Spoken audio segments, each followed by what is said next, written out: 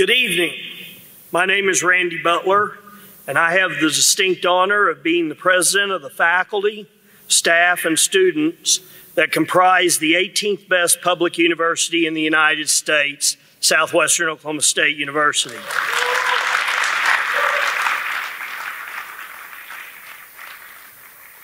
We welcome you here this evening for an historic and interesting program related to the 55th anniversary of the Cuban Missile Crisis. Our seminar tonight, The Missiles of Oklahoma, will consist of two speakers, Mr. Landry Brewer, Professor of History here at Southwestern, and Mr. Michael Dobbs, an internationally known journalist and author. Each speaker will make their presentations, and then we will have a short question and answer session at the end of each appearance. If you have further questions, I'm sure Mr. Dobbs and Mr. Brewer will be available afterwards. Our first speaker is Landry Brewer. Professor Brewer is a graduate of Elk City High School and Southwestern Oklahoma State University, where he received both his bachelor's and master's degrees. He is currently a SWOSU history instructor at the Sayre campus. Landry's research about southwest Oklahoma's Cold War nuclear missile sites has resulted in his having a paper published soon in an academic journal, a historic marker being placed in Greer County, a trip to the University of Texas at Austin in September to present a poster about the historical marker project at the annual meeting of the American Association for State and Local History, the story being featured last June on KFOR TV's Is This a Great State or What? and several presentations to civic groups between Shamrock, Texas and Weatherford. Landry and his wife Erin have five children and live in Elk City. Please welcome Landry Brewer.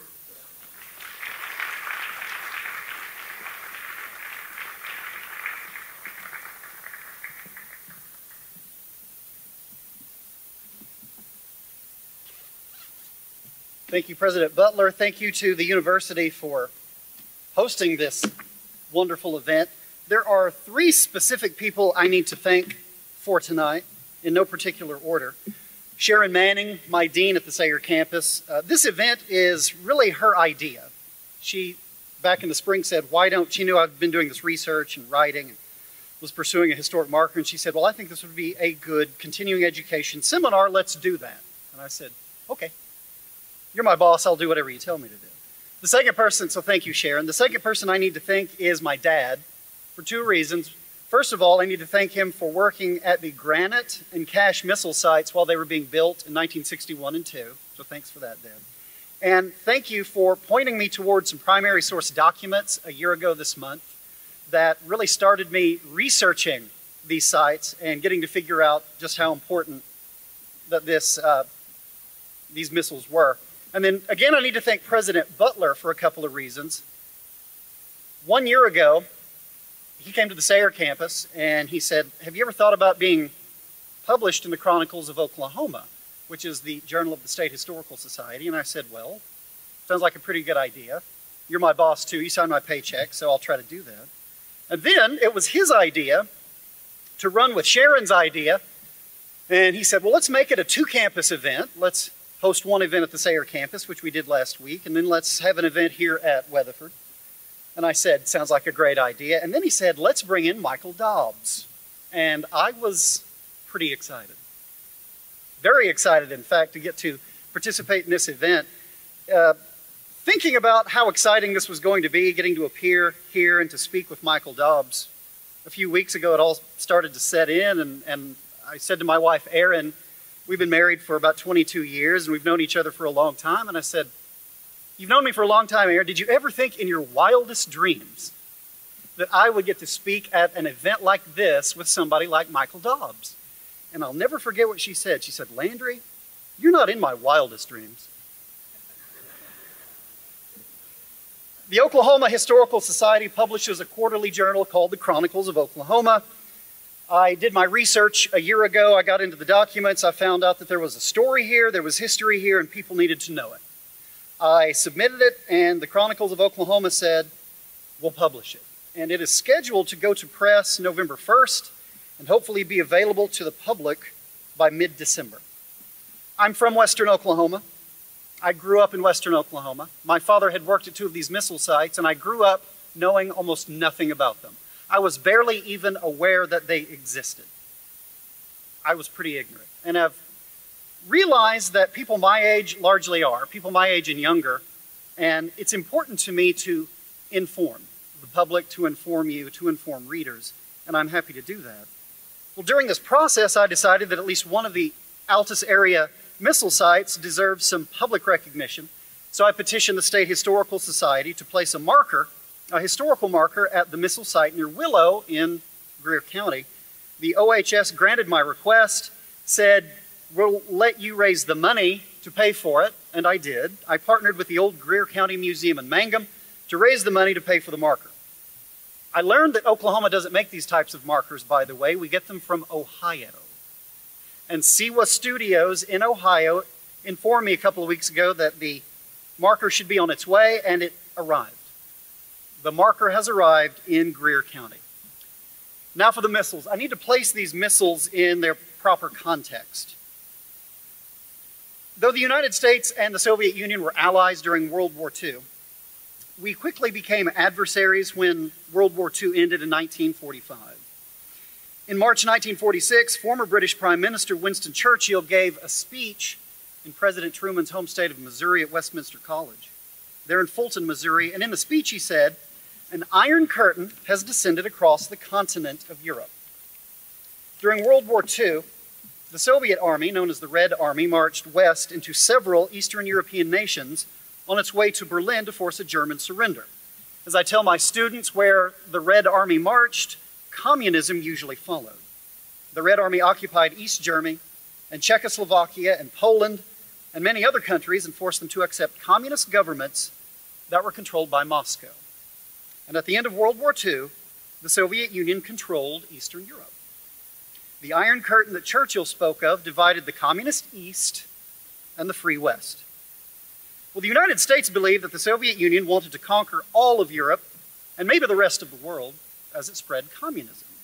So the United States adopted a policy of containing Soviet communism. President Truman announced that the U.S. would provide economic, political, and even military support to nations that were under threat. And we started with aid to Greece and Turkey per this new Truman Doctrine. By 1947, this conflict pitting the Soviet Union and the Communist East against the United States and the Democratic West was being called the Cold War. The US and the Soviet Union were never officially at war with each other during the next four decades, but the threat of war existed. The United States ended World War II against Japan in August 1945 by dropping two atomic bombs there.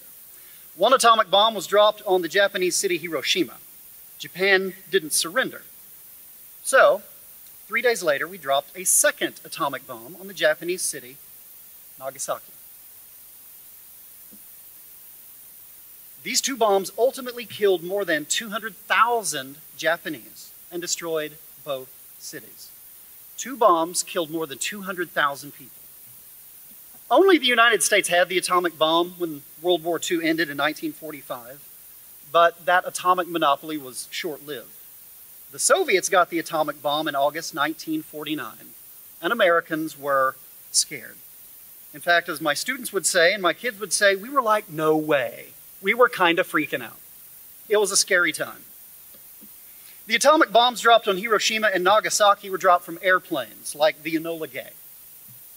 Eventually, though, both the United States and the Soviet Union developed long range ballistic missiles to carry nuclear bombs great distances.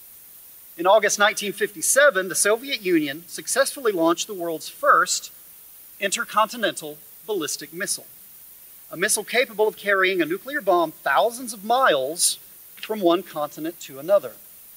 And Americans were scared.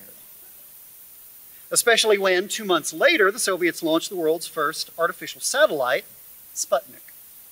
The perception was that the Soviet Union was ahead of the United States in technological capability and weapons production. It was time to catch up. To counter the Soviet Union's Cold War nuclear threat in the 1950s, the United States government began creating an offensive nuclear capability. That included intercontinental ballistic missiles, or ICBMs, capable of reaching the Soviet Union. The first American ICBM was the Atlas missile. Southwest Oklahoma, near Altus Air Force Base, played a crucial role in the nation's nuclear arsenal from 1960 through 1965 by building several missile launch sites and housing Atlas F intercontinental ballistic missiles. An impressive weapon to behold, the Atlas F missile was 82 and a half feet long and 10 feet wide. It weighed 18,000 pounds empty and more than 267,000 pounds when it was fueled. Its nuclear warhead delivered a 4 megaton yield, which means it was roughly equivalent to 4 million tons of TNT. 4 million tons of TNT. During flight, the missile reached a speed of 16,000 miles per hour. It could travel more than 6,700 miles in 43 minutes, which means in the time it takes me to drive from my home in Elk City to the Fine Arts Center on the campus of Southwestern Oklahoma State University in Weatherford, an Atlas missile fired from southwest Oklahoma could reach the Soviet Union. With the nuclear warhead, more than 200 times more powerful than the atomic bombs we dropped on Hiroshima and Nagasaki.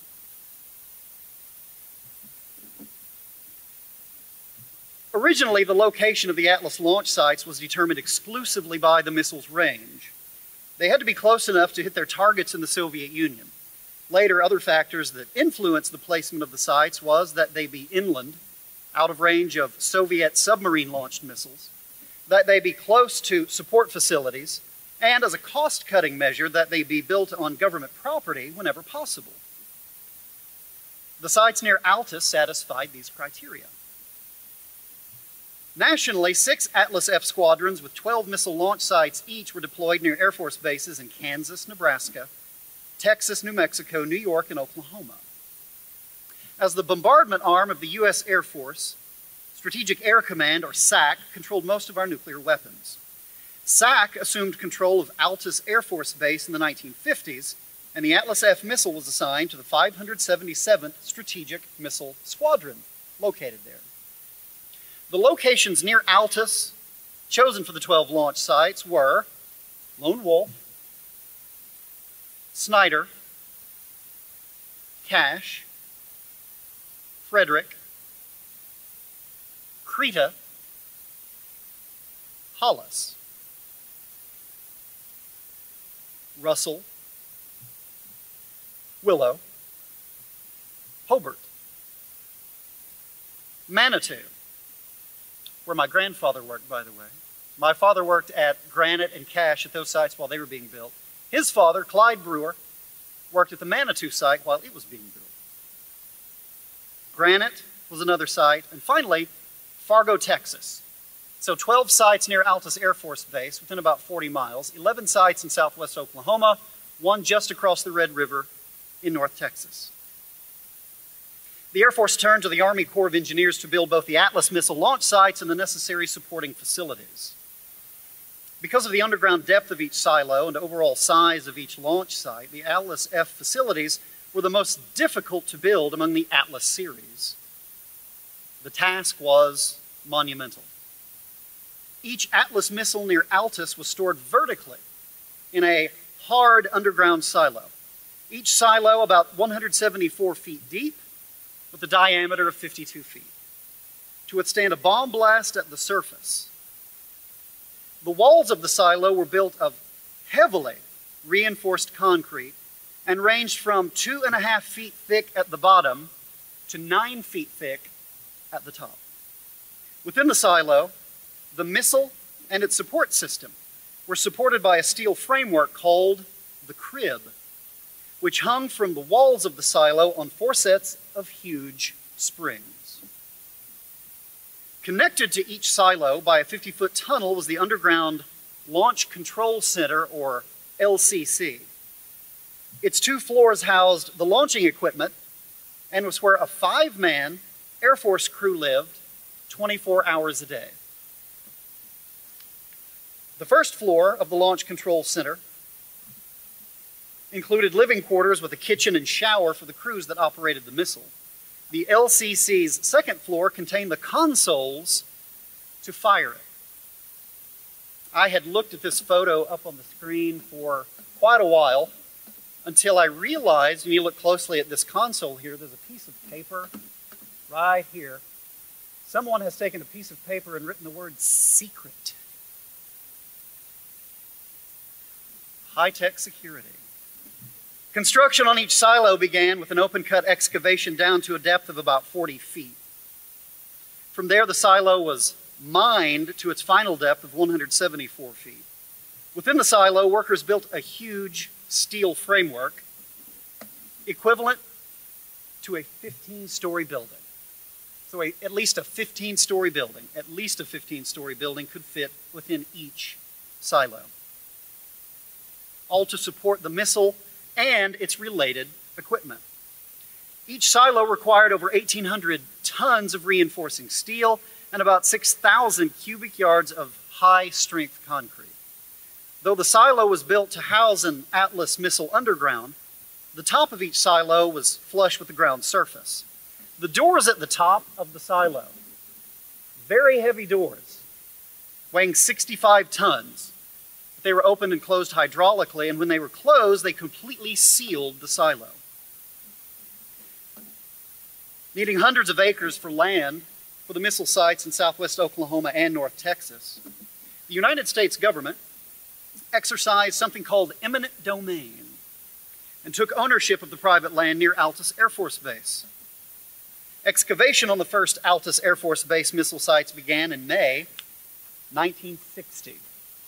This was a symbolic groundbreaking ceremony that featured the mayors of all 12 of the communities where each missile site was located. It also included such luminaries as United States Senator Robert S. Kerr. constructing the missile sites was dangerous. Nationwide, and remember this was a national program, there were six hubs nationally that included Altus Air Force Base, with 12 missiles surrounding each. So there are at least 72 Atlas F missiles. Nationwide, more than 50 men died building these sites. Three men died while building the Altus area missile sites. The May 8, 1960 edition of the Altus Times Democrat newspaper carried a front page story about the downing of American pilot Francis Gary Powers while flying a U 2 spy plane on a reconnaissance mission over the Soviet Union a week earlier. The story relays that Soviet Premier Nikita Khrushchev, remember the guy who banged his shoe on the table and said, We will bury you? Nikita Khrushchev announced that Powers was a $2,500 a month agent of the CIA, which he was, and he recommended that Powers be tried for espionage, which he was, and sentenced to a few years of prison followed by hard labor. What happened, though, we, uh, we got him back. The United States had a Soviet spy in custody, and after Powers had spent a couple of years in prison in the Soviet Union, we swapped our spy for him, and we got Powers back. Also, that Tom Hanks could make the movie Bridge of Spies. A day after informing its readers that Powers was in Soviet custody, the Altus Times Democrat announced that the work had begun at the Lone Wolf missile site. The newspaper described the site's location as just east of State Highway 41 between Lake Altus and Lone Wolf. Work was also to begin at the Snyder and Cache sites the same day. The Altus area missile sites were built as Dwight Eisenhower's presidency was ending, and the two men vying to be his successor in the White House were battling each other on the campaign trail. A couple of young guys named Kennedy and Nixon. The September 26, 1960 edition of the Altus Times Democrat carried a front page story about the first ever televised presidential debate to be held that night between John Kennedy and Richard Nixon. The same edition of the Altus newspaper carried several pictures of the Snyder Atlas silo under construction. illustrating the immensity of the massive undertaking. Democratic presidential candidate John Kennedy visited Oklahoma just days before the 1960 election. The same day that Kennedy's Oklahoma visit was front page news, the Altus Times Democrat reported that the first missile site construction fatality had occurred at the Hobart site. Otis Hobson, a 31 year old construction worker from Lampasas, Texas, was electrocuted when a gust of wind blew a cable on the end of a large crane into a 440 volt power line. He'd finished work at the Willow site and was preparing to begin work on the Hobart site on day one when the accident occurred. He'd been at the Hobart site on his first day there, less than half an hour when he died. The Altus Times Democrat also reported the December 28, 1960 death of an Arkansas man while working at the Cache missile site. He was working in the silo when he fell about 90 feet to his death. A Vernon, Texas man became the third Altus area missile site fatality March 24, 1961. The Altus newspaper reported that construction worker Keith Arnold was preparing for concrete to be poured on the Launch Control Center at the Fargo, Texas site when he fell approximately 30 feet to his death. According to the newspaper, Arnold's pregnant wife, unaware of her husband's death, was admitted about an hour after the accident to the hospital in Vernon to give birth. The sites were completed by crews that worked 24 hours a day. In fact, I'm told that at Willow in Greer County, there was a cafe in the early 1960s, and the Willow Cafe began staying open 24 hours to accommodate all of the workers and make some money. The August 1st, 1961, Altus Times Democrat reported that the Snyder missile site had been completed and transferred to the Air Force. The newspaper also noted that this launching complex alone required, required removing 60,000 yards of earth, pouring 6,900 yards of concrete and using over 537 tons of steel. It also said that each silo could have held over two and a half million gallons of water, and enough concrete was used in each of the complexes to pave 30 city blocks with a six inch layer. How did the missiles make their way to Willow and Granite and Cache? The Atlas missiles were flown to Altus Air Force Base by planes like C 133s, and then they were loaded onto trucks and driven to the missile sites for housing and possible use. Can you imagine being in your farm and one of those rolls by? Hey, Dad, what's that?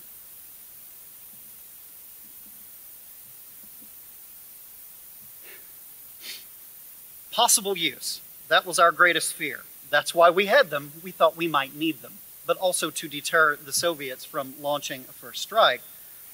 Well, our fears were nearly realized. We came awfully close to our greatest fears being realized that is, nuclear war.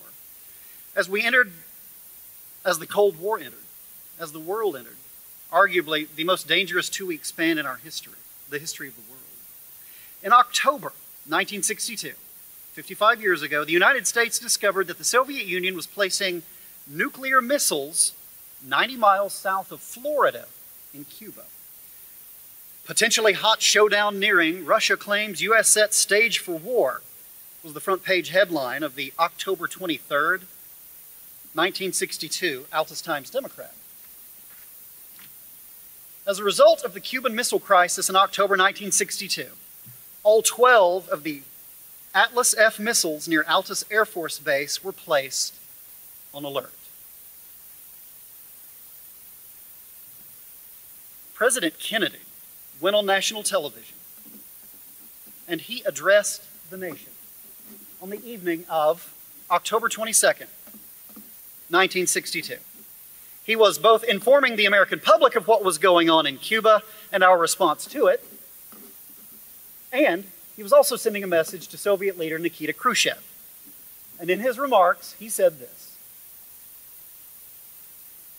It shall be the policy of this nation to regard any nuclear missile launched from Cuba against any nation in the Western Hemisphere as an attack by the Soviet Union on the United States, requiring a full retaliatory response upon the Soviet Union.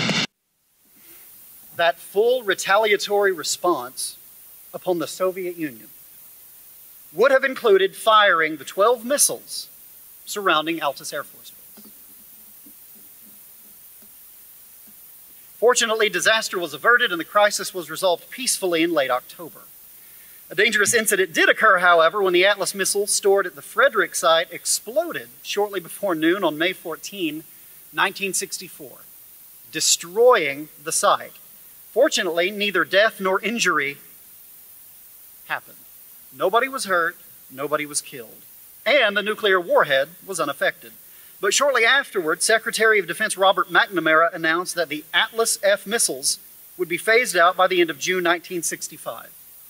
Considered obsolete, the Atlas missile was replaced by the Titan missile. Just that quickly, Oklahoma's part in the nation's missile program ended.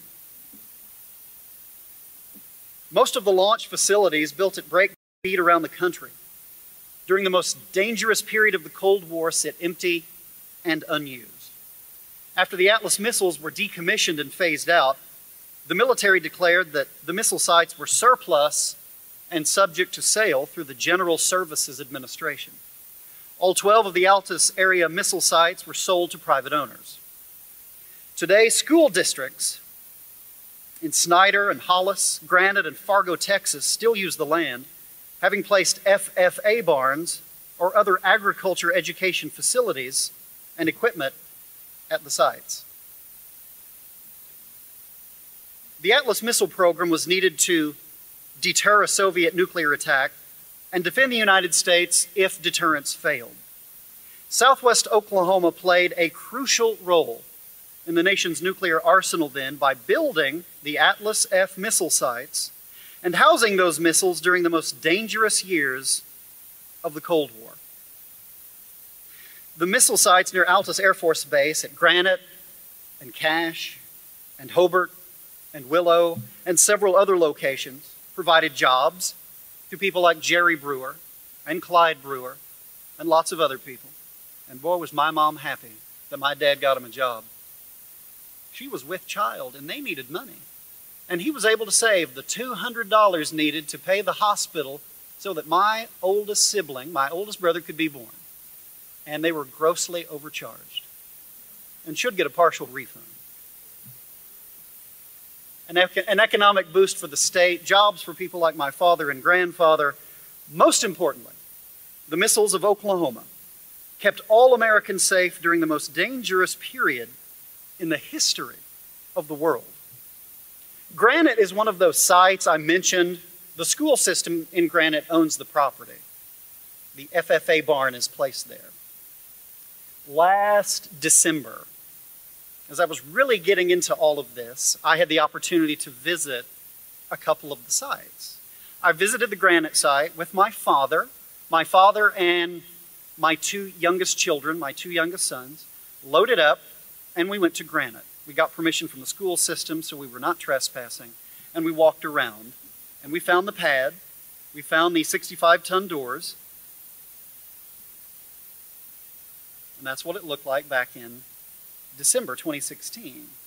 Well, we had already been to the Willow missile site because before going to the Granite site, we had been to the Willow site. My father, my two youngest children, and I loaded up in the van, and we headed from Elk City south to Willow down Highway 34. I had first contacted the property owner, making sure that I was not trespassing. I didn't want to get shot. This is what the Willow Atlas missile site looked like between 1962 and 1965. This view is from the east looking west. If you've ever driven through Greer County down Highway 34 or 283, they overlap here. If you drive south from Elk City, you call it 34. If you drive south from Sayre down 283, you call this 283. Well, this is the missile site at Willow, looking west toward the highway. This is a side-by-side comparison of the Willow site from a different vantage point in between 62 and 65. I don't know if you can see these mountains in the background. I can bring my cursor. In the upper left, above the Atlas missile on the left side of the screen, you might be able to make out the Quartz Mountains near Granite. The picture on the right is the entrance to the Launch Control Center. I took this picture at the Willow site December 2016. The missile, you can see in the photo on the left, the missile protruding from the silo through the doors. On the right, you see grain storage and equipment sitting on the same pad where that missile had been in the early 1960s. Grain storage and equipment. In each LCC, there was an escape hatch for the five man Air Force crew. Now, each site was built to theoretically withstand a bomb blast at the surface. But just in case of catastrophe, a fire, for example, and the five man crew needed to escape immediately and were unable to do so through the stairs, climbing up the stairs and, and exiting the door, the entrance and exit for the LCC, an escape hatch was built. There was a round tube through the ceiling, you could pull a lever and a door would open, and there was a tube you could climb through, be 40 feet to the surface, and escape that way if necessary. But each tube was filled with four tons of sand. In fact, there was a sign by the lever that opened the door saying, for emergency escape only, releases four tons of sand when opened. So don't open it unless it's a real emergency. Last December, I had been researching and I had been writing, and I told a friend of mine about my research about the missile sites, and he said, You know, when I was a teenager at an undisclosed Western Oklahoma high school back in the 1980s, a friend of mine and I used to go down to Willow We'd take our ropes and we would climb in because the doors to the silo were open. And one day, my friend brought me a sign. He said, I took this from Willow back in the 1980s. It's yours. And I said, Thank you for trespassing as a teenager and stealing this. You're guilty of at least two crimes. Ironically, this person's now a lawyer. Now, I am an inveterate rule follower. I toe the line, and I thought, I'll do the right thing. I will contact the owner of the Willow site and say, I've got this sign, you want it back, never thinking that he would actually take me up on it. He took me up on it. I gave it back to him. But at least I have a picture and a really great story to tell if I ever speak at a missile site seminar. Last June, my father and I had the opportunity to go inside of one of these missile sites in southwest Oklahoma, where a man now lives. He was gracious, he showed us around, he allowed us to take photos. And this is the entrance. In the old days, it was the entrance to the LCC, now it's the entrance to his home, to the LCC. This is the door. I call it the door. You can see down here, can you see the welcome mat that says better dead than red? Actually, I'm just kidding, it just says welcome. I'm just kidding. There we are, the owner, the, the, man who graciously allowed us into his home. He let us look around. And looking at this photo, I'm struck by how bad my posture is. We need to drink more milk. It was very hot that day.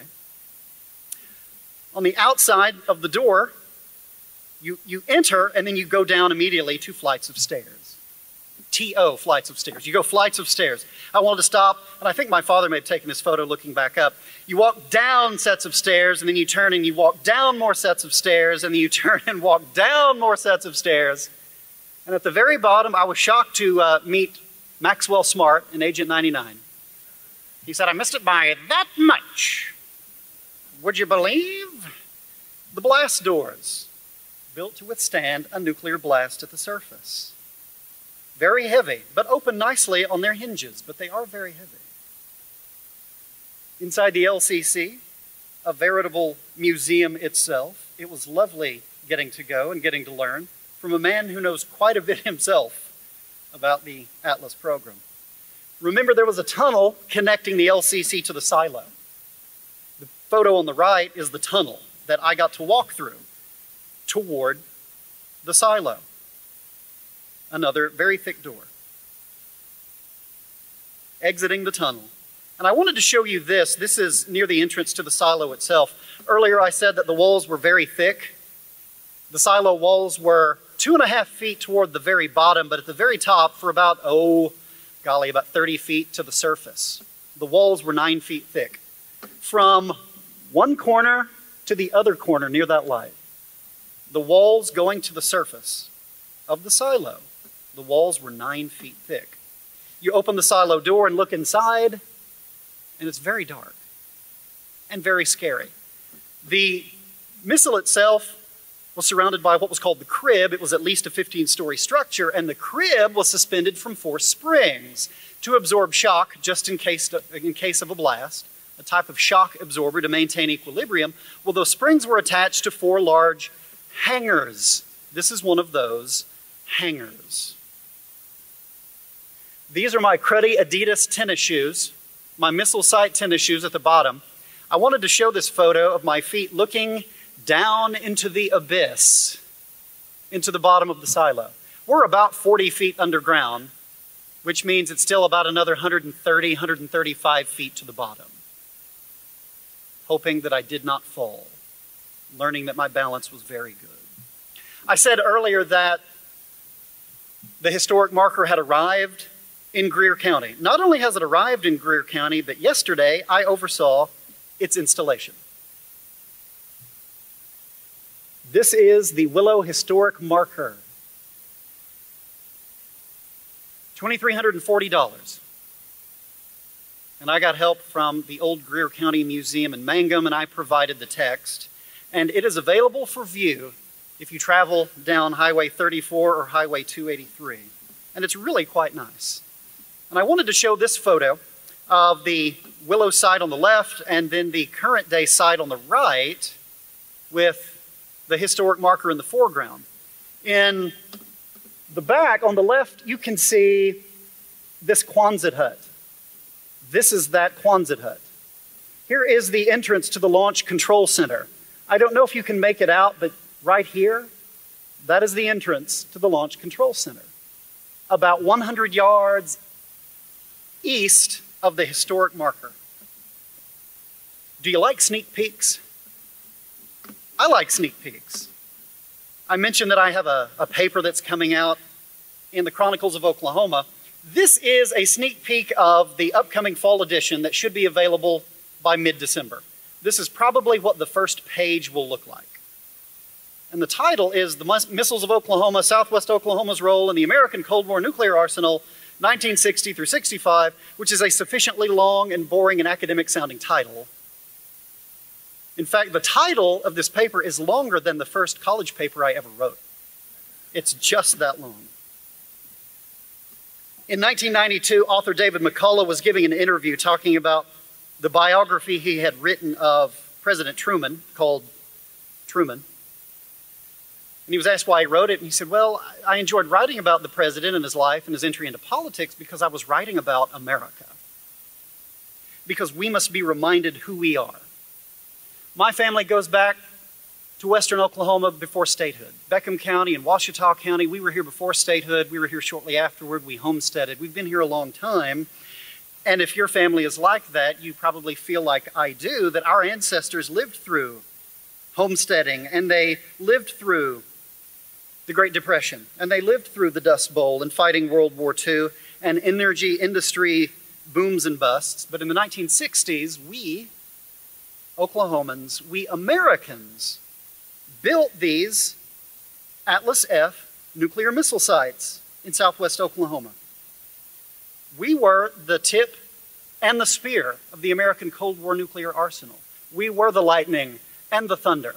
And we need to know these things, which is why I was adamant about writing the paper. And I was adamant about placing the historic marker. And I was adamant about talking to you and everybody else who will listen to me including my family who hates talking about Atlas missiles now because they're tired of hearing it. But it's very important to me. Why? Because we must be reminded who we are. And this is part of who we are. Thank you very much. I'll take a couple of questions if anybody has some.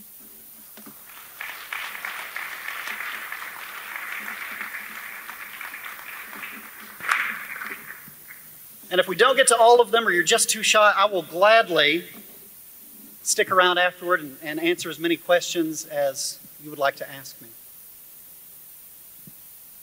Questions? We have a microphone. If you'd like to come down and, and ask a question, feel free. And if you don't want to come down, I will be available afterward to speak to you privately if you would like.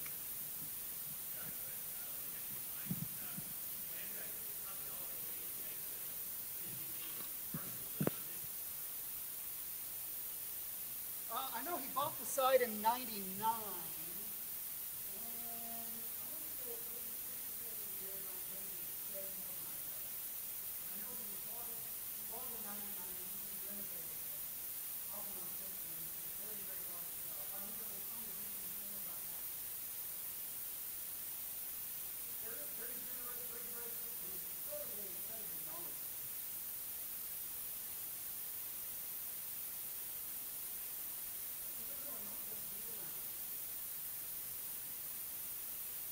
Anyone else? Yes, sir. Uh,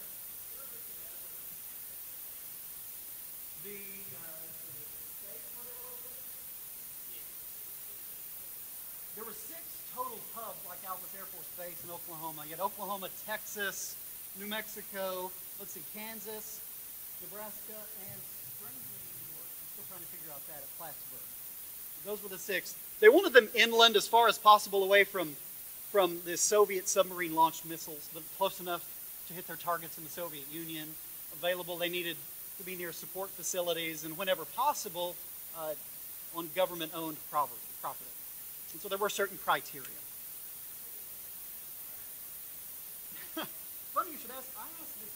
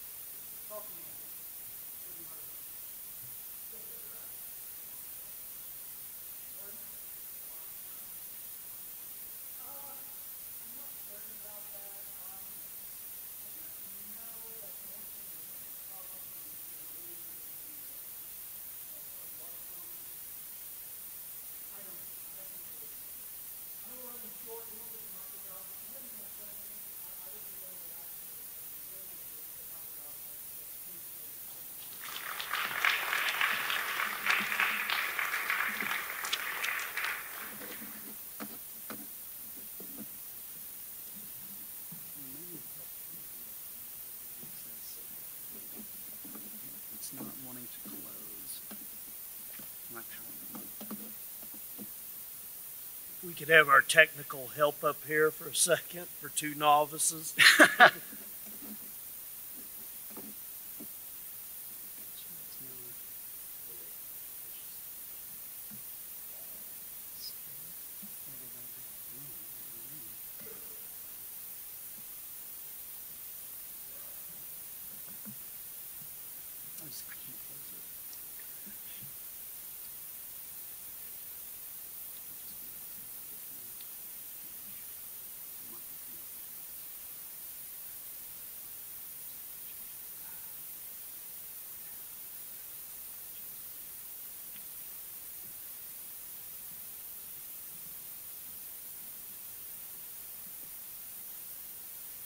Landry, I'll be sure to tell that attorney you did not mention his name. Our next speaker, Michael Dobbs, is a journalist and author of a best selling book about the Cuban Missile Crisis, One Minute to Midnight Kennedy, Khrushchev, and Castro on the Brink of Nuclear War. In a cover review in the New, in the New York Times Book Review, Richard Holbrooke wrote that the book was filled with insights that will change the views of experts and help inform a new generation of readers. Dobbs first became interested in the missile crisis while covering the collapse of the Soviet Union for the Washington Post between 1988 and 1993. As a reporter for the Washington Post, Dobbs, Dobbs witnessed anti communist revolutions and wars in Yugoslavia, Poland, China, and the Soviet Union. His Cold War trilogy consists of Six Months in 1945, From World War to Cold War, one Minute to Midnight, Kennedy, Khrushchev, and Castro on the Brink of Nuclear War, and Down with Big Brother, The Fall of the Soviet Empire. Other books include Madeleine Albright, A 20th Century Odyssey, and Saboteurs, The Nazi Raid on America. Dobbs has taught courses on the Cuban Missile Crisis at the University of Michigan, Georgetown University, and American University. He is currently working on a book about U.S. refugee policy prior to World War II for the United States Holocaust Memorial Museum. I know that Michael's had a busy day today. We've taken him to some missile sites and the Stafford Museum and hopefully given him a taste of southwestern Oklahoma. So if you would, please give a great southwestern Oklahoma welcome to Mr. Michael Dobbs.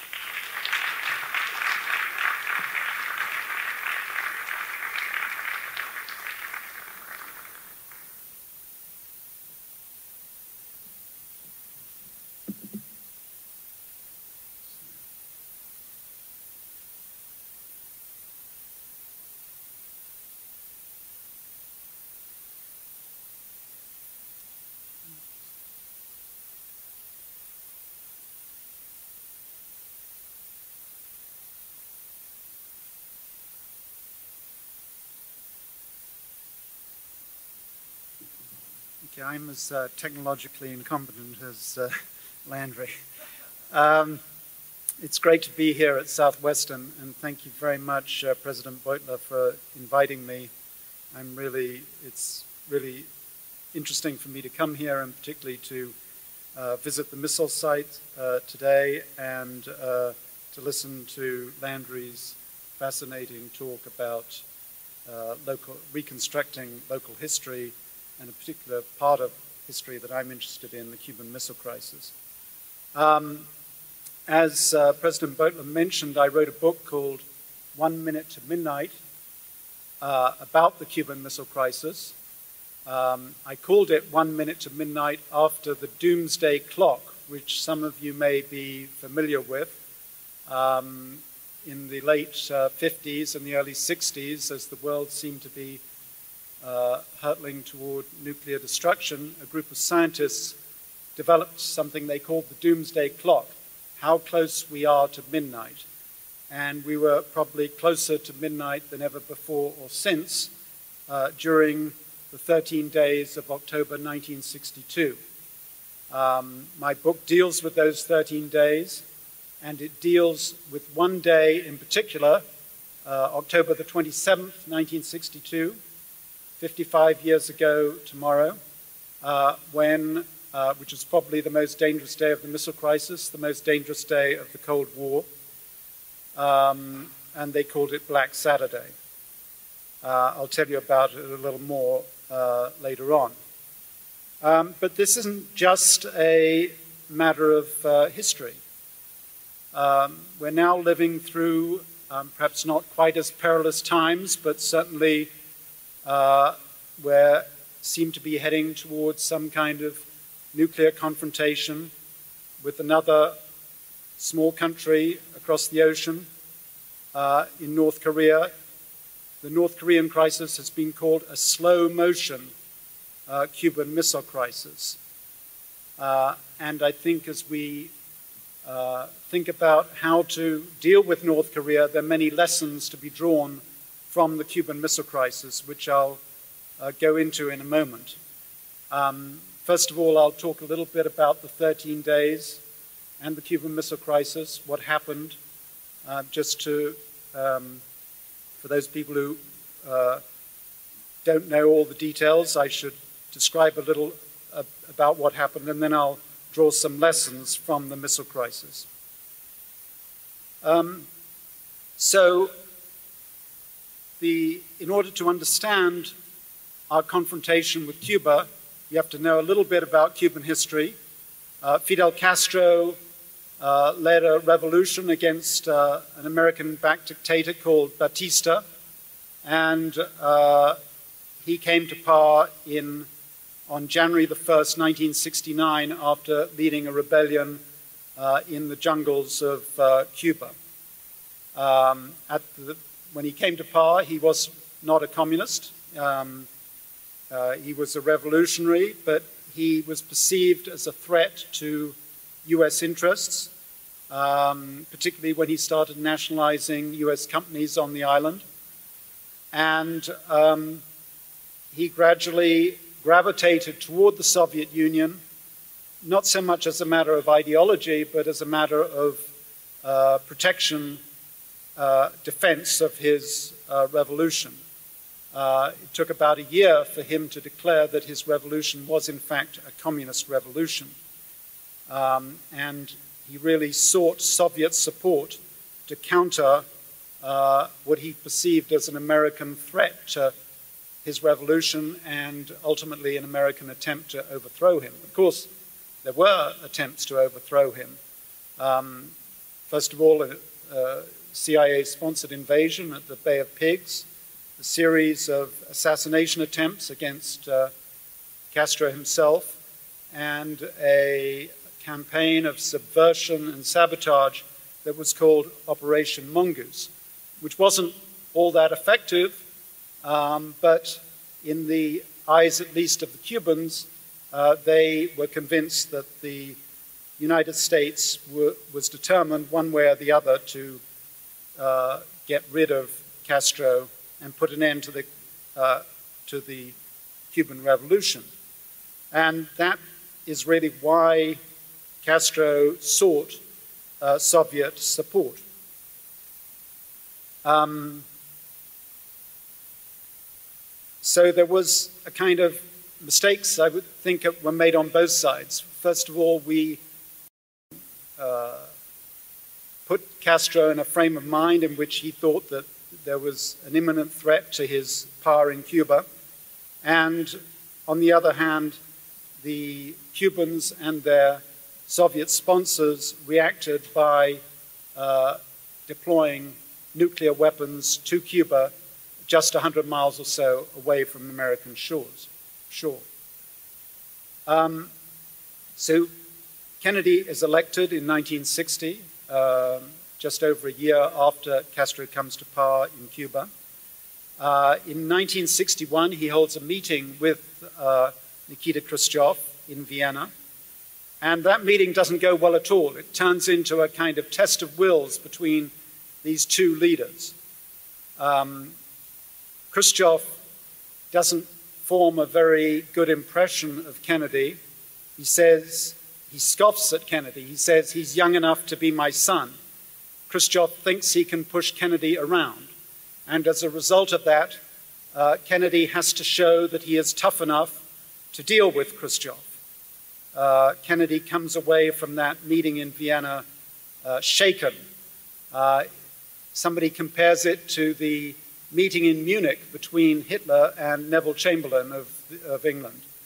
Um, that uh, uh, Kennedy is sort of feels that his uh, authority is being challenged by Khrushchev, and he has to do something to reassert his authority. Otherwise, gradually the uh, Soviet Union will take advantage of the United States and, and uh, be able to uh, take advantage of the US weakness, particularly in Berlin. Um, so Kennedy is of the frame of mind that he feels that he needs to do something to uh, show that he's not going to be intimidated by the leader of Soviet uh, communism. Um, so the Soviets take a decision to send missiles halfway around the world to uh, this little island of Cuba, um, which, of course, is in the, the, as far as America is concerned, is in the Western Hemisphere and part of the uh, what should be the American sphere of influence. Uh, it's called Operation Anadyr, and it's really for a country as, I mean, uh, the Soviet Union had nuclear missiles, but in many ways it was an extremely backward, poor country. In the space of two or three months, in, from August 1962 to October 1962, this rather backward country managed to, to send uh, a military force of 40,000 men across the ocean, uh, armed with uh, 200 or so nuclear warheads, including missiles that can reach the United States with those warheads, under the, virtually under the nose of uh, American uh, intelligence agencies without the United States understanding what was happening. We realized that there was this armada of Soviet ships going to Cuba, but we didn't know what was on the ships. We suspected that there was military equipment, but uh, we didn't know for sure. There was a debate in the American intelligence agencies about exactly what was being taken to Cuba. Uh, this on the left is a photograph taken from one of those Soviet ships of a US uh, reconnaissance plane flying over. You'll notice that the, um, uh, so the Russian on the deck of the ship is dressed in a checkered shirt. They went under disguise as agricultural technicians. Um, the man on the right is uh, Colonel Nikolai Beloborodov. Uh, he was actually in charge of the Soviet nuclear arsenal. All those nuclear warheads came under the, were his responsibility. Um, the Russians called, the, the joke was this was not Operation Anadyr, but Operation Checkered Shirt, because all the Russians wore the same type of shirt. They, they, they had all been issued this uh, kind of standard uh, camouflage, um, which became rather obvious after a while, but um, uh, uh, they, they didn't wear their military uniforms. Um, they also, in order to fool the American reconnaissance planes, uh, the Russian soldiers uh, rarely came up on deck, or they could only come, they were allowed to come up on deck, for example, if, if it was their birthday or some kind of special day. They were, uh, for the most part, when they came across, uh, they were all in, uh, in terrible conditions, uh, uh, in holds, cargo holds, um, below decks, and when the CIA was trying to calculate how many Russians were coming across, they thought perhaps five or 6,000 Russians uh, were coming across in these ships, but in fact there were 40,000. Uh, it was an army of 40,000 uh, uh, Russians uh, that was being transported to Cuba. And they came with nuclear missiles. The main missile that they brought to Cuba that could reach the United States was called the R-12, uh, was the Russian nomenclature. The Americans called it the SS-4. Um, the Russians had paraded, they have the habit, actually just like the North Koreans or the uh, Chinese nowadays, they parade their missiles in public uh, on uh, major holidays. And the R-12 had been paraded through Red Square, which of course uh, gave uh, Western military attaches the opportunity to photograph it, to discover exactly the length of the missile, the length of the warhead, um, which later became very useful in identifying it. So between August of 1962 and October 1962, Um, there was a long debate in uh, American intelligence agencies about exactly what kind of equipment the Soviets were bringing to Cuba. And, but it was only on October the 14th, 1962, that uh, the United, that the CIA actually was able to discover uh, that the, uh, the, the Soviets were bringing nuclear capable missiles to Cuba, missiles that were capable of reaching uh, US territory. Um, the missiles were discovered by U 2 uh, uh, pilot uh, Richard Heyser, flying at an altitude of 60,000 feet, and um, he uh, photographed one of the missile sites at a place called San Cristobal. This is not the picture taken by uh, uh, Richard Heyser, the U 2 pilot. Uh, this was taken a few days later by a low level reconnaissance plane, but it gives you uh, a, a, much more detailed uh, overview of that same site. You can see the oxidizer tanks, the, the uh, missile shelter tent, uh, the fuel tank the trailers for the fuel tanks, um, a missile erector, i.e., the equipment that uh, brought the missile from a horizontal position to a vertical position. Uh, and it was the length of the missile tent that enabled the CIA to identify this as a R-12 missile, or as they called it, an SS-4. That they had equipment that could precisely measure the length of that missile tent, and that really put an end to the debate about whether the Soviets were bringing nuclear capable missiles to Cuba or not. After this, these photographs, there was no doubt in the president's mind that the Soviets had introduced uh, nuclear uh, missiles in Cuba, something that he had warned them against a few weeks before. He had, Kennedy had said, if the Soviets attempt to bring offensive nuclear missiles into Cuba, we will, regard, we will have to take action to prevent it. So he had drawn a red line in the sand and he had committed US prestige and authority to forcing the Soviets to remove their missiles from Cuba. Um, he was told about the presence of the missiles on October the 14th, which was the first day of the, you've probably heard of the 13 days. They begin on October the 14th when the president is informed about uh, the deployment of Soviet missiles in Cuba.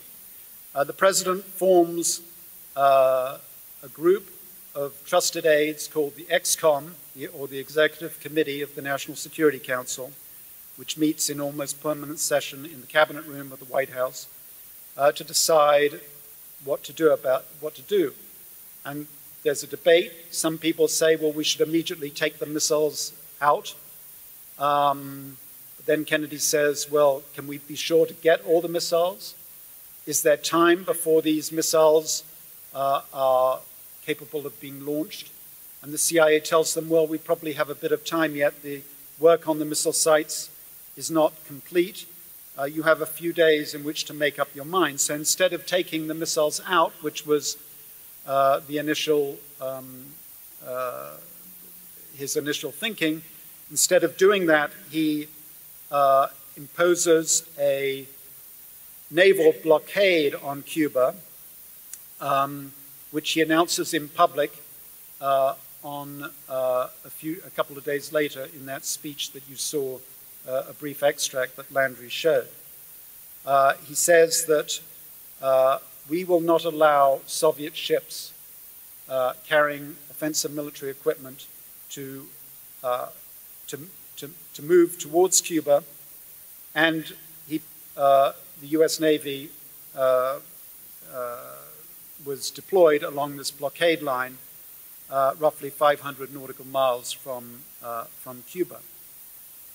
Um, I don't know if any of you have seen the, there's a movie called 13 Days, which shows this um, so called eyeball to eyeball moment with Soviet ships advancing towards the blockade line, and at the last moment they turn back. Um, and the Secretary of State, Dean Rusk, is, said to, is meant to have said, uh, we were eyeball to eyeball, and the other fellow just blinked. It's part of the mythology of the missile crisis. Actually, when I did the research for my book, I was amazed to discover that the uh, Soviet ships who were still moving towards Cuba never reached the blockade line. They, were, they turned back before uh, they reached the blockade line, and they were never more than 100 or 200 miles from, uh, from the US ships. So Khrushchev had already decided uh, on October the 24th, when the blockade came into force, that he was not going to run the blockade with his uh, ships carrying, um, carrying military equipment. Um, so while this is all going on, uh, the US forces and US nuclear forces, the Strategic Air Command, is going to ever higher levels of alert. Um, I think it's on October the 25th that the Strategic Air Command, um, you see uh, the uh, head of Strategic Air Command, General uh, Thomas Power there, announcing uh, DEFCON 2, which is the second highest alert. DEFCON 1 is, means imminent nuclear war.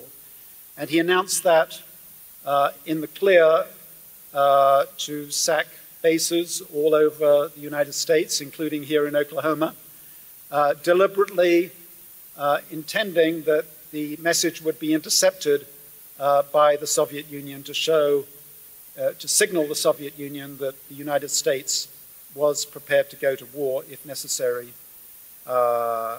in order to force uh, the Soviets to pull, out, pull their missiles out of Cuba. But as the, uh, the SAC uh, and other elements of the US military uh, went to higher levels of nuclear alert, um, there was always a risk of something going wrong. Uh, I don't know if you recall, but uh, during the Gulf War, um, Donald Rumsfeld, who was then defense secretary, uh, he said, well, when you go to war, stuff happens. And stuff began to happen during the 13 days of October 1962, all along the, uh, this uh, uh, Cold War battlefront. One of the things that happened uh, was that we didn't know, but the Soviets also had submarines. We knew about the submarines, but we didn't know that they, these submarines were armed with nuclear torpedoes. And the US Navy was trying to bring the submarines to the surface uh, by throwing down depth charges. And uh, on one of the submarines, um, you could imagine the tension inside the uh, this sort of tin can World War era, World War II era uh, submarine, very claustrophobic. Um, the sailors had, uh, there were terrible conditions on, on board the submarines.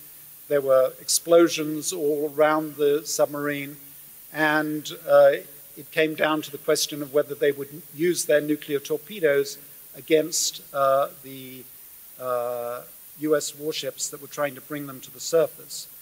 Uh, I spoke to one of those submarine captains and uh, in Russia, and he, he told me about a conversation they had on board the submarine where it came down to arguments between three officers, uh, one of whom wanted to use the nuclear torpedo and two of whom didn't. Um, on October the 27th, the most dangerous day of the missile crisis, the day they called Black Saturday, uh, a, several things happened. First of all, there was the incident with the submarines. Secondly, over Cuba, a American U-2 was shot down by a Soviet um, uh, uh, SAM missile. Uh, a man called Major Anderson, who was piloting the U-2, was killed. Um, but also something happened that was one of these sort of freak accidents that had nothing to do with the crisis, but Uh, it's just, to quote Donald Rumsfeld, stuff happens. Uh, a man, uh, a U-2 pilot called Chuck Maultsby, um, you see him on the left, a former Thunderbird pilot. He was uh, involved in, uh, in air sampling missions to the North Pole from Alaska. Uh, the idea was that U-2s, in addition to um, taking reconnaissance photographs, were also involved in taking samples of uh, the atmosphere to uh, detect Soviet nuclear tests. This was a completely routine um, exercise that nobody thought to cancel, even though it was the middle of the Cuban Missile Crisis. Uh, Chuck Maultsby flies his U-2. He's meant to go up to close to the North Pole, collect his samples, turn around, come back to Alaska. Um, as luck would have it, his navigation in those days was all by the stars. He takes a wrong turn at the North Pole, and instead of coming back to Alaska, he ends up over the uh, eastern part of the Soviet Union, the Chukotka Peninsula, on the most dangerous day of the Cold War. Uh, the Soviets send up MiGs to try to force him down um, twice, and then they, the MiGs can't reach high enough to, um, to, to shoot down a uh, a U-2, which is flying at 60,000 feet. But uh, then Maultsby runs out of fuel uh, over the Soviet Union. Miraculously, he makes it back to uh, a little airstrip at Kotzebue on the coast of Alaska. And um, when, when uh, JFK hears about what has happened, he says, well, there's always some son of a bitch who doesn't get the word. Um, but this to me is an example of the kind of things that can go wrong when uh, you're moving to higher levels of alert. Uh, uh, uh, uh, all, all kinds of things can happen that you don't predict. Neither Kennedy nor Khrushchev fully controlled the forces under their command. Kennedy didn't even know that uh, this U-2 uh, had flown over the Soviet Union until it was back in Alaska. Uh, Khrushchev didn't know that a, uh, another U-2 had been shot down over Cuba. Uh, you know, we like to think that a president has complete control over his, uh, over his forces, but it's not true. He doesn't know and cannot control everything that is happening on the battlefront. There's always, in Donald Rumsfeld's words, there's always stuff that happens. Um, having the two sides having come close to, uh, to nuclear war, uh, Kennedy had already decided that the following week, um, if the Soviets didn't back down, he would probably have to send uh, uh, planes over Cuba to take out those sites. Um, but both he and Khrushchev also understood, partly as, an as a result of incidents like the uh, incident involving Chuck Maultsby, uh, that the crisis was spinning out of control and they had to bring it to an end. So what happens on the night of uh, October 27th, this same day, uh, Kennedy sends his brother Robert to the Soviet embassy in Washington. And Robert Kennedy meets with the Soviet ambassador, and uh, he essentially proposes a deal, which is that we have missiles in Turkey that can reach the Soviet Union, analogous intermediate range missiles. Um, the Soviets will have to pull their missiles out of Cuba. That will be done in public, but in private, uh, after a, couple, a few weeks have gone by, we will pull our missiles out of Turkey. In the meantime, Khrushchev is also looking for a way out of the crisis. Um, and the following day, um, partly because of this, influenced by this offer from, uh, from the president, uh, he publicly announces that he's going to withdraw his missiles uh, from Cuba. So the crisis is resolved, but it's a close run thing. So, what are the lessons to be drawn today for, uh, for the handling of crises today from the 13 days in October 1962? Um, the first lesson, I think, is that uh, the most dangerous, um, uh, the biggest risks that we ran during the missile crisis were not from the conscious decisions of Kennedy and Khrushchev. And both Kennedy and Khrushchev were quite rational uh, people. Uh, left to themselves, they knew uh, that it would be suicide to, uh, insane to bring the world to a nuclear war. They didn't want to get into a nuclear war. But they didn't completely control their own military chains of command. The risk of war in October 1962 did not come from the conscious decisions and wishes of these two leaders. It came from accidents, miscommunication, um, events like the shooting down of the U 2 in Cuba, or this attempted shoot down of another U 2 that had gone astray over the Soviet Union, or the uh, this drama aboard the submarines uh, in the Caribbean, uh, or sort of freak accidents on, a, uh, on an American missile site or on a Soviet missile site, any of which could have escalated very quickly and uh, uh, in a way that neither leader was able to control. We intended to, uh, the following week, had uh, two sides not back down. Uh, the US had an invasion plan of Cuba. Um, this is a document that I discovered in the National Archives in Washington, uh, a blueprint of the uh, invasion beach. It's Tarará, which is east of Havana. I overlaid it onto a Google, Google map here.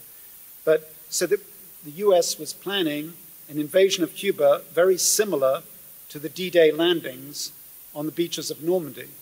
What the US did not know was that in addition to the uh, longer range missiles that could reach uh, US territory, the Soviets had tactical nuclear weapons on Cuba that could destroy a, uh, uh an invasion beachhead, could also destroy the US naval base at Guantanamo. And had those Marines come ashore here at, uh, Tarará, uh, there's a high likelihood that uh, local Soviet commanders on Cuba, whether or not they'd been uh, received orders from Moscow, uh, would have used those tactical nuclear weapons against uh, the US Marines coming ashore at Tarará Beach. And then a local, there's very high chance that a local, uh, uh, uh, a, a small nuclear conflict would have escalated into something uh, much larger. Um, second lesson I think it helps if the leaders have a sense of history and of the risks of history. Both Kennedy and Khrushchev had direct personal experience of World War II. They'd both served in World War II. Kennedy had uh, commanded a patrol boat out in the Pacific. Uh, he writes to his girlfriend at the time, uh, This war here is a dirty business. Um, he says the, one of Kennedy's favorite sayings, which he had learned as a young um, uh, junior lieutenant, uh, was that the military always screws up. Um, I mean, he had an understanding of what I've called this some son of a bitch moment. He knew that accidents are likely to happen. And I think Khrushchev had a similar sense. Um, he'd seen the destruction of his, uh, of, of, a large part of the Soviet Union, the destruction of his um, home village in Ukraine. And in fact, one of the letters he sends to Kennedy during the crisis, he the Second World War. He says, War ends when it has rolled through cities and villages, everywhere sowing death and destruction. So the experience of the two leaders of war I think served as a constraint on them, particularly when they thought about nuclear war, which was going to be many times worse than the war they had experienced.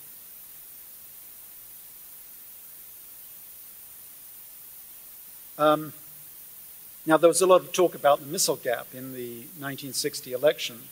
Uh, Kennedy accused Eisenhower of allowing a missile gap. In fact, the, there was a missile gap, but the missile gap favored the United States, not the Soviet Union.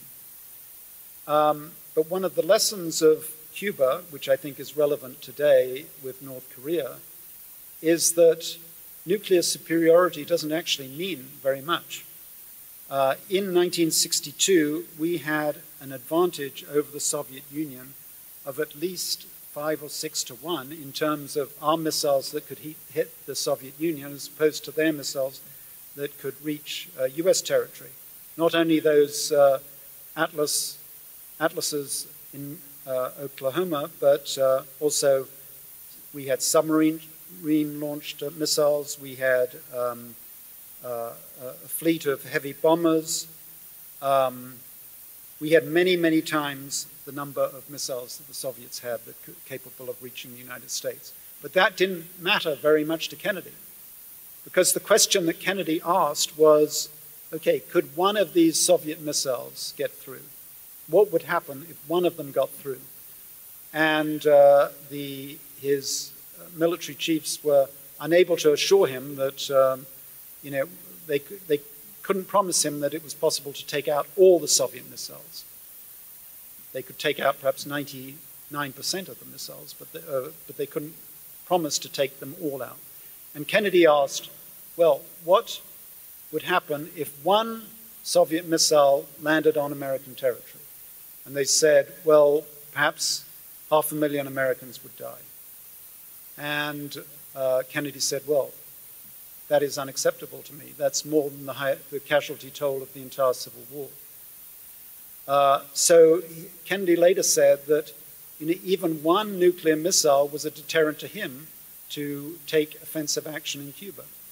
Uh, and we have a similar situation now with North Korea. Of course, we can obliterate North Korea. There's no question about it. We have uh, the same kind of superiority over North Korea that we have over uh, that we had over Cuba back in 1962. But the threat of even one uh, North Korean missile landing on an American target or an American airbase in Korea, South, South Korea, or in Japan is unacceptable to most American leaders. Um, now, Curtis LeMay had a different view. He thought that the Soviet, that the United States enjoyed sufficient superiority over the Soviet Union to force the other side to back down. And even at the risk of a nuclear war, and he was prepared to carry through on his threats. So this was a different difference of opinion between uh, the president and Curtis LeMay. Ultimately, of course, uh, JFK's uh, opinion prevailed.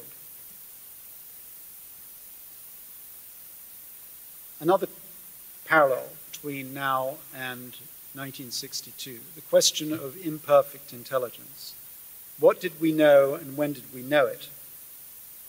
Um, the CIA knew a lot about the, or they learned eventually a lot about the Soviet military buildup in Cuba. They knew, they were late to find out, but they identified the missile sites. Uh, they identified SAM sites, that, uh, i.e., sites that could um, bring down American planes uh, surrounding the island. They discovered all kinds of airfields, but there was a lot that they didn't know at the time. Um, as I talked about earlier, they completely miscalculated the number of Soviet troops on Cuba. The original estimate was around 8,000 uh, or around 4,000, later increased to 8 to 10,000, when in fact there were 42,000 Soviet troops on Cuba. Um, here they are again in their checkered shirts. Um, the photograph on the left here is actually of a Russian circus company. Um, that came to entertain the Soviet troops on Cuba. Um, and in the, the front here, you can see a very famous Russian clown. He's called Oleg Popov, who came out to entertain the Soviet troops. Um, but we had no idea that what purported to be agricultural technicians, as you can see, they're not agricultural technicians. This is a missile regiment on parade.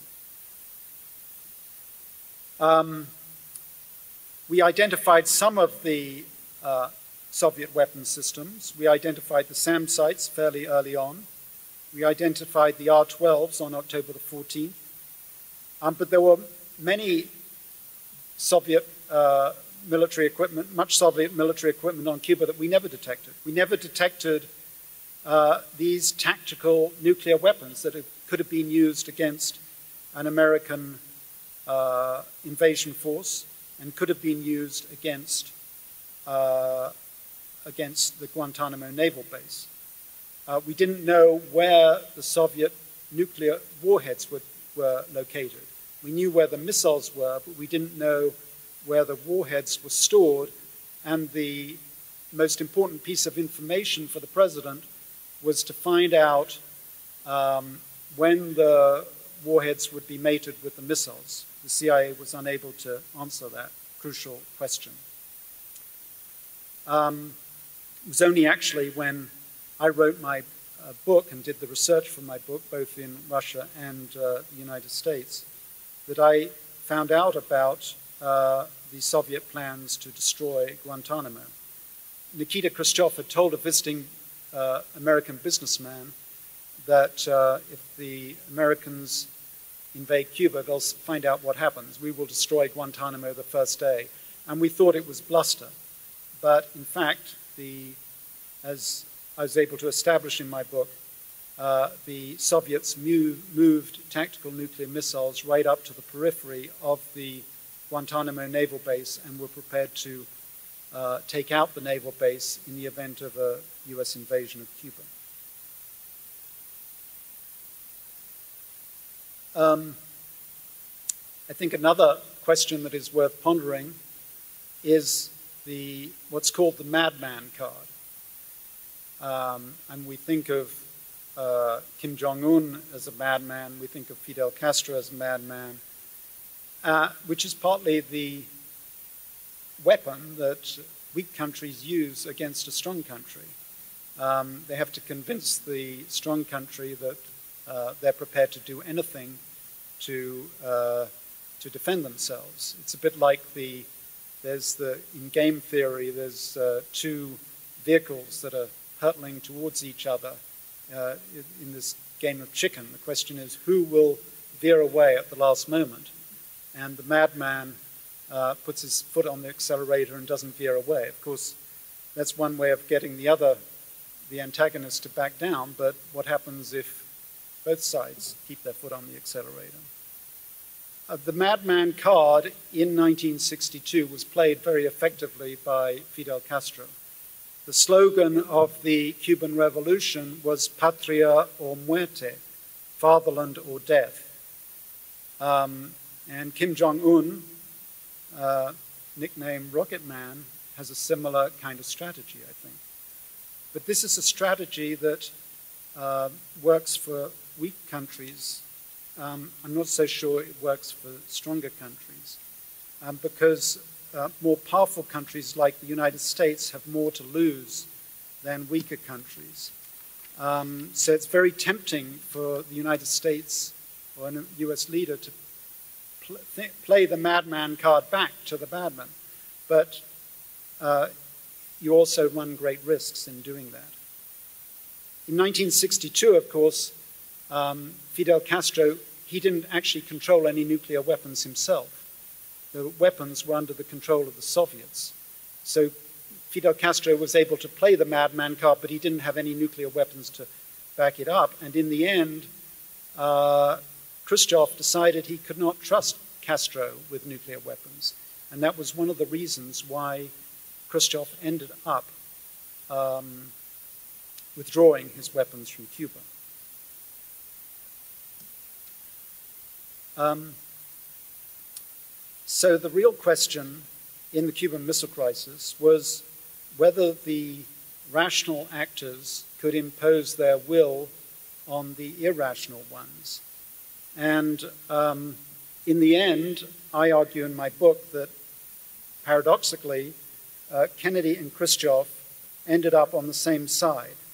They were both very aware of um, the risks of nuclear war. They'd been through war themselves. And they, although they were uh, led hostile superpowers, they ended up with a similar sense of responsibility for the fate not only of their own countries but of the whole of mankind. And I think this was best expressed by Jackie Kennedy after uh, JFK's assassination. Jackie wrote a, um, a personal letter, handwritten letter to, um, to Khrushchev. And I'll just quote briefly from the letter. Jackie writes, You and he, i.e., you, Khrushchev, and my husband, were adversaries, but you were allied in a determination that the world should not be blown up. The danger which troubled my husband was that war might be started not so much by the big men as by the little ones. While big men know the need for self control and restraint, little men are sometimes moved more by fear and pride. So the real question in 2017, as it was in 1962, is will our leaders turn out to be big men or little men?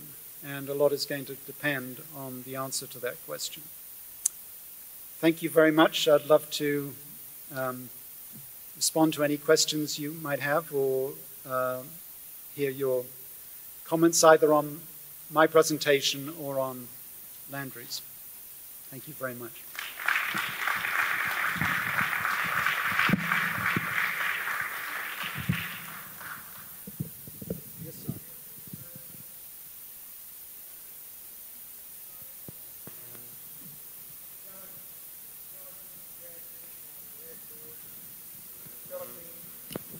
In the Philippines.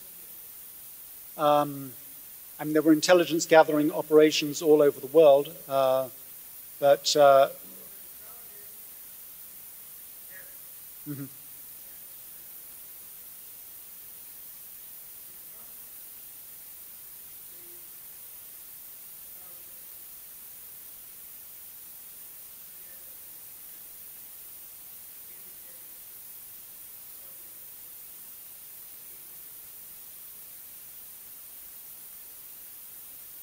Right.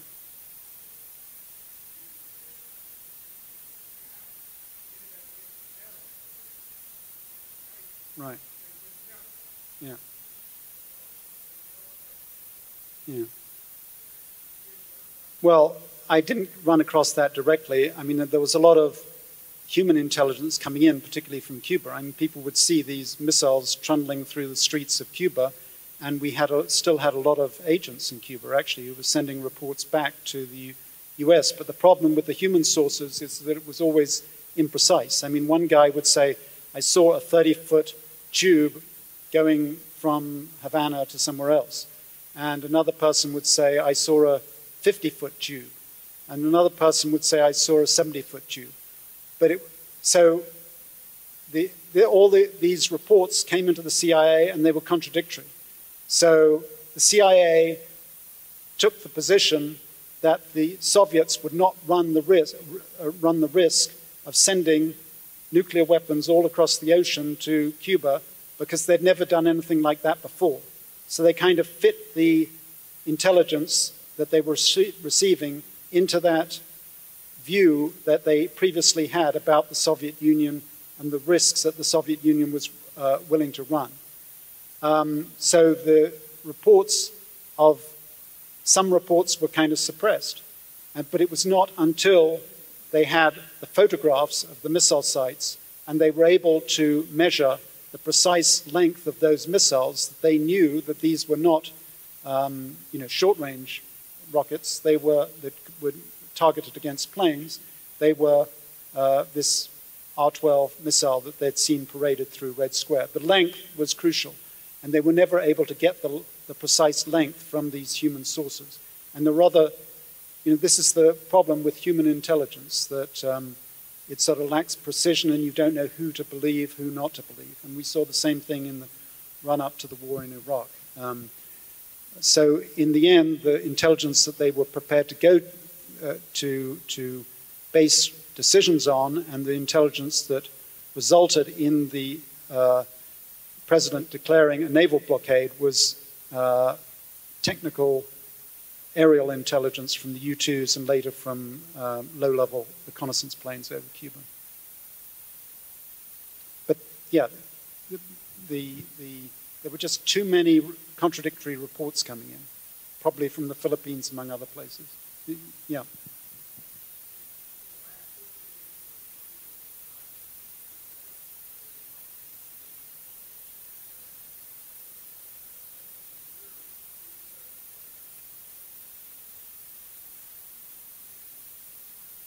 Right. Well, I told you I didn't know about the, um, the plans to destroy Guantanamo. Um, we didn't know about the presence of, of, Soviet tactical nuclear weapons on Cuba. The, I mean, there were some suspicions that they had them, but we didn't really find uh, establish that until a series of conferences. What made the Cuban Missile Crisis so interesting to study is that uh, uh, the original histories were written from the American point of view. Um, so it was all based on American sources. But after the end of the Cold War, it became possible to speak to Russians and to get Russian documents. And you brought the Russians together with the Americans in a series of conferences, and eventually they also included the Cubans in these conferences. So you were able to study it not just from the American perspective, but the American, the Russian, and the Cuban. And by triangulating all that information, we discovered a whole lot of things like that we didn't know before, including I mentioned the incident involving the submarines. I mentioned the incident involving uh, Chuck Maultsby and his U-2 getting lost over, uh, uh, over the Soviet Union. Um, that, that was known, um, it's referenced a little bit in earlier histories. Um, but I think my book goes in, uh, into it in much more detail uh, than was known before. And uh, I was able to get all that information partly from Chuck Maultsby's family, um, but partly from um, you know uh, piecing together. Uh, actually, that a lot about that operation is still classified because the U.S. had the ability to track. Um, they we were reading uh, Soviet intelligence, so Soviet um, uh, monitoring of Maultsby's flight. And uh, uh, that is still um, classified. So a lot of documents have not been released about that uh, Maultsby U-2 flight. Uh, so I mainly got that from unofficial sources. I mean, now, you know, Maultsby's other U-2 pilots talk about it. Maultsby, Maultsby's no longer alive, but he left a very interesting memoir um, there are bits and pieces I discovered, including the map of where uh, uh, flew over the Soviet Union. So I think I was pretty much able to piece it all together, but actually there's more to be discovered about that. Yeah.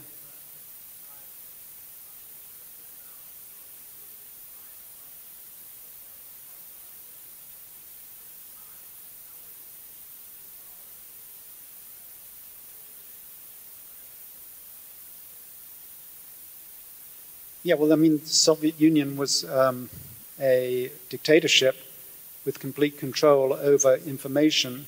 So uh, they, I mean, very little of that information got back to the Soviet Union. Of course, it was spun as, um, you know, uh, the, the, Soviet leader Nikita Khrushchev uh, making, you know, he responsible for uh, keeping the peace of the world. So, you know, only very fragmentary information got back to ordinary Russian citizens. And Russian citizens were kept largely in the dark throughout the missile crisis. The American students in Moscow who, you know, while uh, ordinary Russians didn't really know what was going on in the same way that Americans knew what was going on because of the state controls over the, over the media.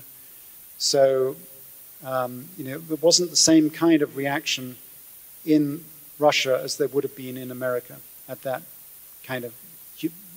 But what there was within the elite, uh, there was a reaction because um, uh, other Soviet leaders perceived it as a humiliation, and uh, Castro perceived it as a humiliation uh, that he'd had to uh, been forced to retreat, that Khrushchev had been forced to retreat.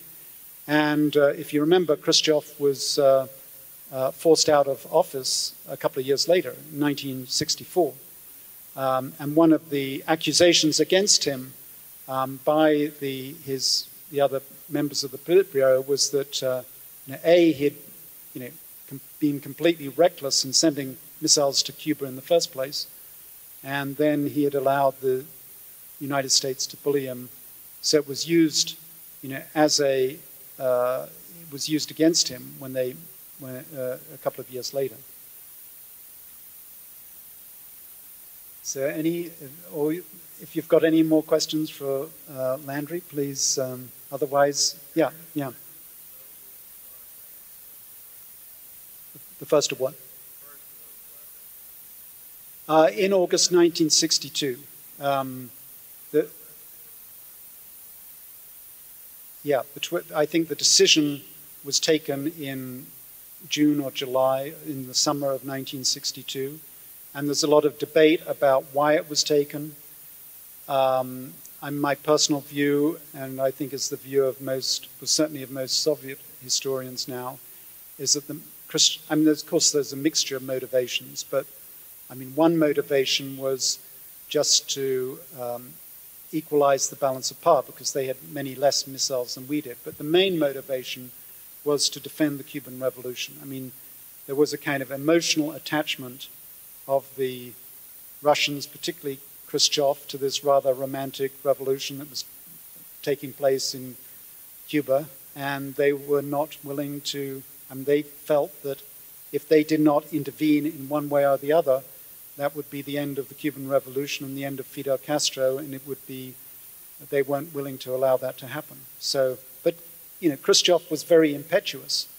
And uh, it was a decision that he took personally against the, he didn't really consult uh, most of his colleagues on the, on the Politburo. Um, so without looking into, I mean, in his memoirs, he said that his main motivation was the defense of the Cuban Revolution. I think that's probably true.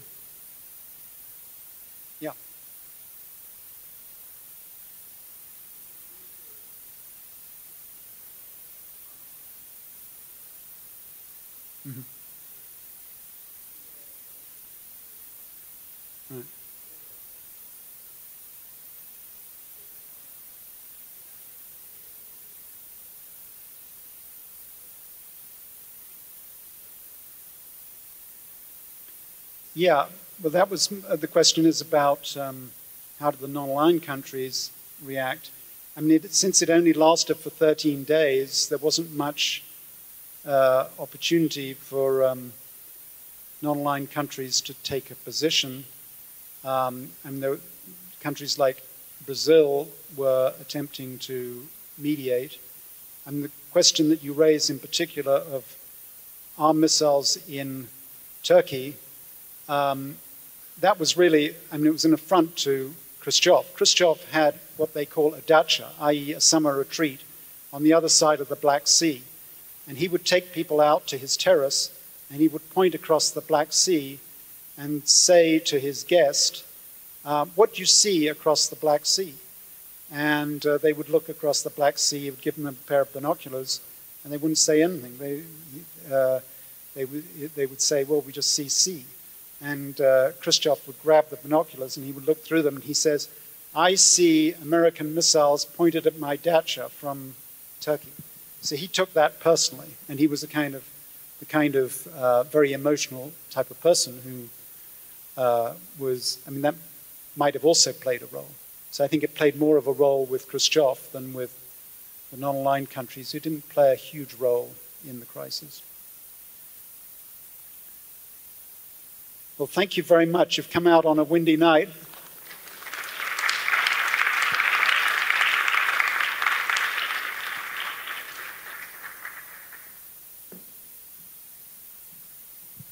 If we could, let's have one more round of applause for Mr. Dobbs and Mr. Brewer for excellent presentation. That concludes our seminar. Thank you for coming out. Always remember, send us your students, and hey, you're never too old to come back and get your degree or another degree, okay? So thank you. Have a safe trip home.